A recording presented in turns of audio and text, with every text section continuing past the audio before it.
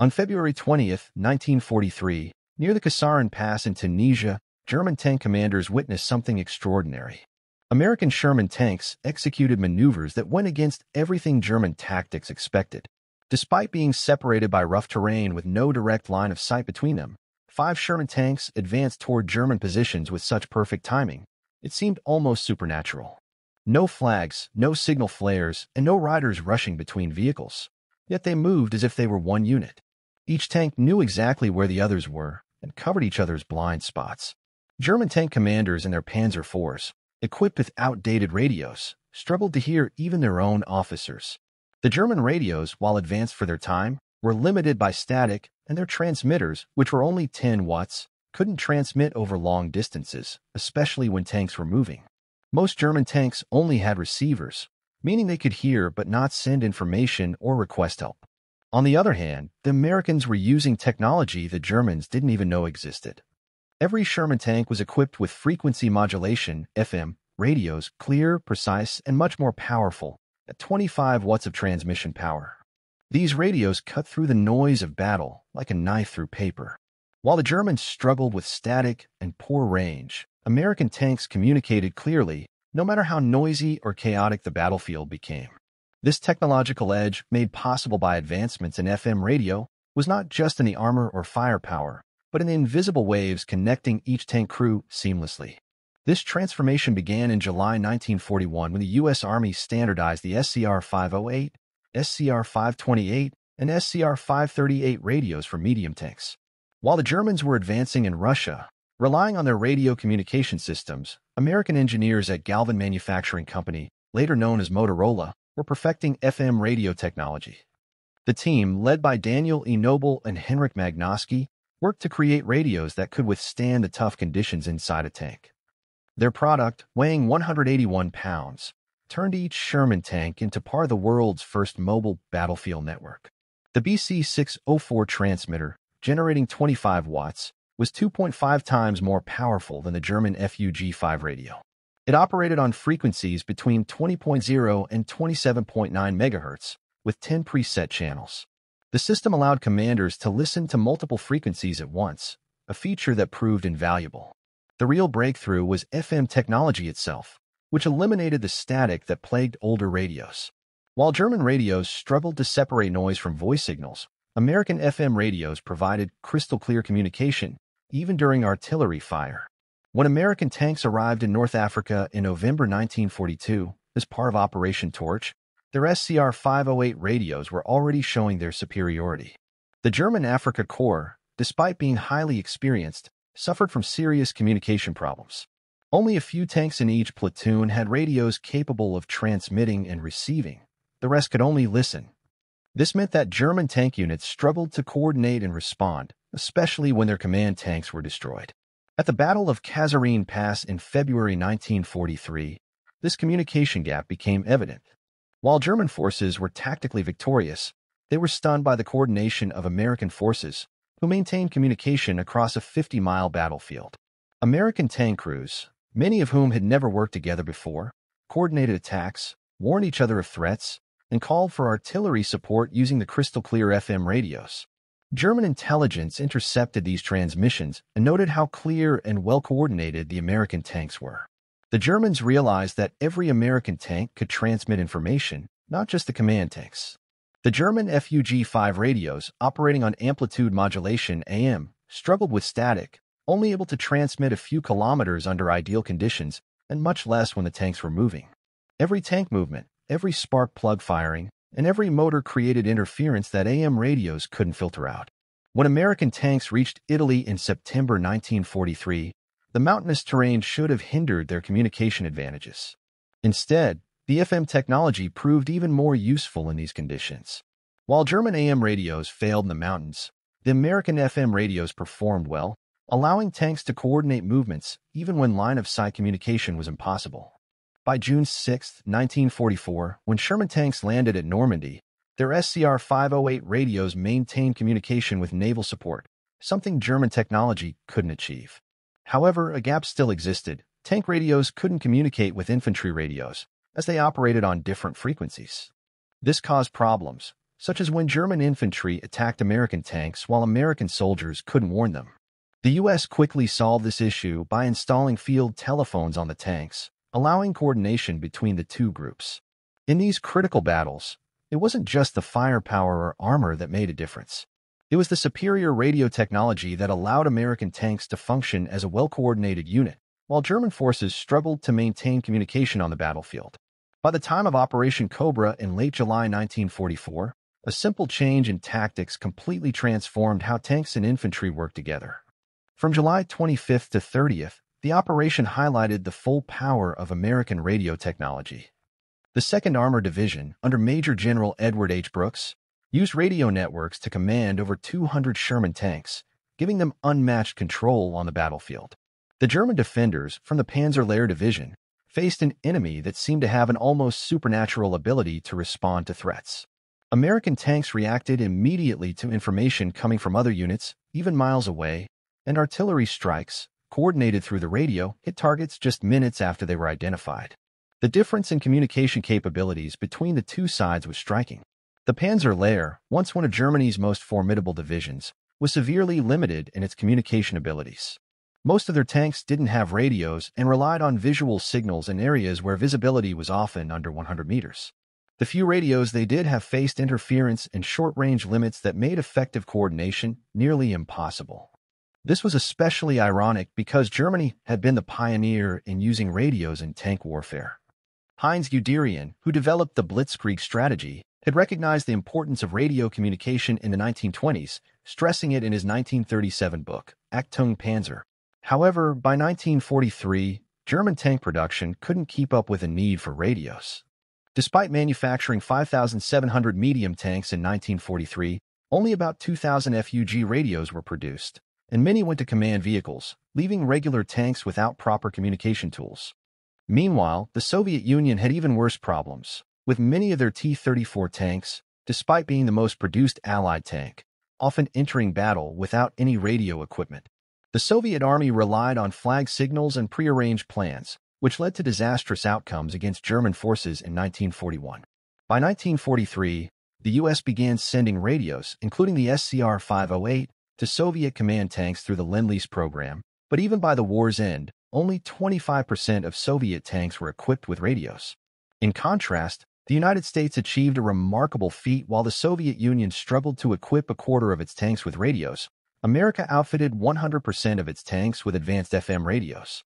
Motorola's Chicago factory, once making car radios, had to completely retool to meet military demands. This factory produced over 50,000 tank radios during the war, ensuring every one of the 49,324 Sherman tanks was equipped with sophisticated communication equipment, something no other country achieved. The SCR 508 radios had several advantages. Their crystal-controlled frequency stability allowed tanks to preset channels before a battle, ensuring they remained aligned, even in the chaos of combat. In contrast, the German FUG-5 radios had problems with frequency drift, causing confusion. The SCR 508 also had dual receivers, enabling commanders to monitor multiple communication channels at once, ensuring constant awareness of their platoon and company. The radios worked in conjunction with a BC-606 intercom system, letting the crew alert the commander to threats instantly, with clear communication even during combat. Many German tanks, by comparison, lacked intercoms, making it difficult for crews to communicate effectively. Another advantage of the American radios was their power management. The SCR-508 could run on either 12 or 24 volts, automatically adjusting to the available power and it used a dynamo motor for stable, interference-free power. German radios, which were powered directly from the vehicle's electrical system, picked up every spark as static, disrupting communication. The widespread use of radios revolutionized American armored tactics. Their flexible command structure allowed commanders to form task forces from different units and still be able to coordinate them effectively, thanks to the reliable radio systems. This flexibility confused German commanders, who were used to rigid structures that had to depend on limited communications.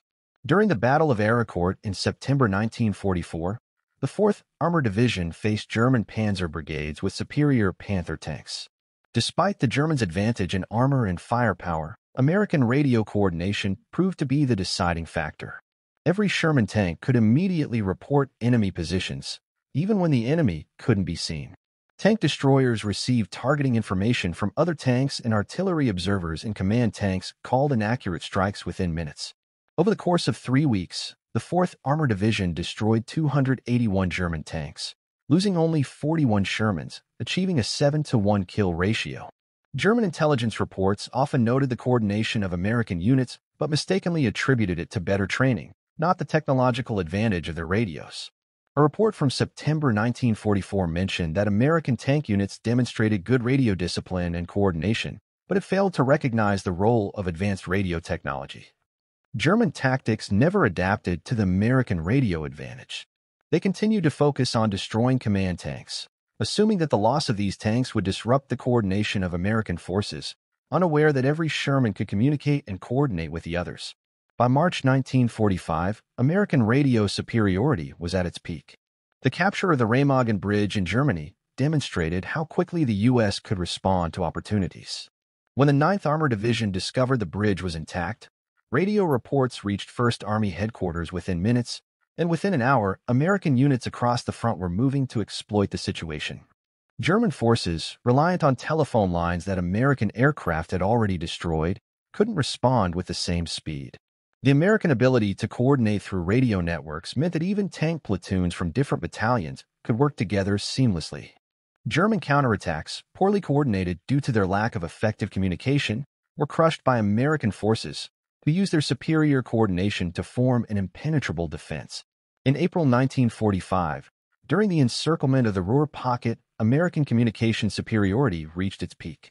The 1st and 9th Armies coordinated a complex double envelopment entirely through radio communications. Inside the pocket, 325,000 German troops were trapped, partially because their communication systems had collapsed. American fighter bombers, guided by forward air controllers equipped with radios, systematically targeted and destroyed German communication hubs. As a result, German units lost contact with their higher command and with each other. Field Marshal Walter Model's final messages before his communication systems failed highlighted the German struggles.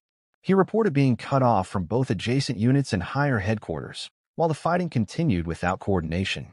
For American tank crews, radio communications were a game changer. Even when physically separated, they stayed connected through radio waves, never truly fighting alone. In contrast, German crews faced isolation. Unable to communicate, they fought individual battles within a larger conflict.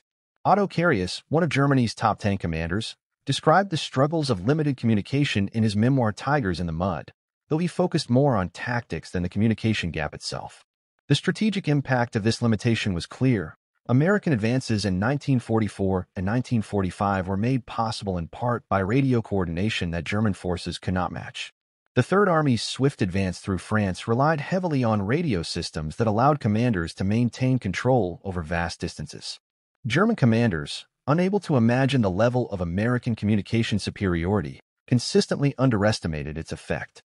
Heinz Guderian, responsible for inspecting German armored units, recognized the problem but couldn't find a solution. In December 1944, he acknowledged that American coordination had overcome the German advantage in tank quality. After Germany's surrender, American technical teams assessed German equipment and found what combat experience had already shown. German tanks had better armor and guns but were severely lacking in communication capabilities. U.S. Army Report Number 176 confirmed that German tank radios were roughly five years behind American technology. The absence of frequency modulation, limited radio distribution, and poor electrical interference management left German units vulnerable. Soviet evaluators, after capturing German equipment, chose to adopt American radio designs for their own post-war developments. The production and deployment of American radios was a testament to U.S. industrial capacity. Over 50,000 SCR-508 radios were produced, with every Sherman tank, out of 49,324 built during the war, receiving these advanced communication systems.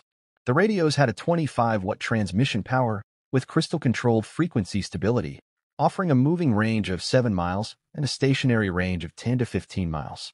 In contrast, Germany produced about 6,000 FUG-5 transceivers, with only about 20% of tanks fully equipped with radios. These radios had only 10 watts of power and suffered from unstable frequencies. Their effective range was only 0.5 to 1 mile while moving, and 2 to 3 miles when stationary. This communication gap had serious operational consequences.